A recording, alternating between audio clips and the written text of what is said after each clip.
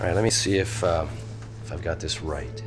You were in a pretty shitty situation, and you made a bad decision, and you're not happy that you have to live with it. Them too. It's okay. I get it. Wait here.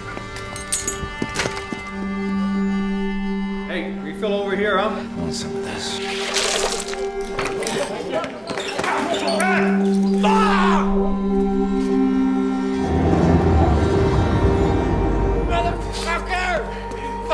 On three, I'm going to push down hard. One, I'm Corporal Smith. I'm a medic with 8th Platoon at FOB Sperwan Ghar. Two, You? Who you with? three.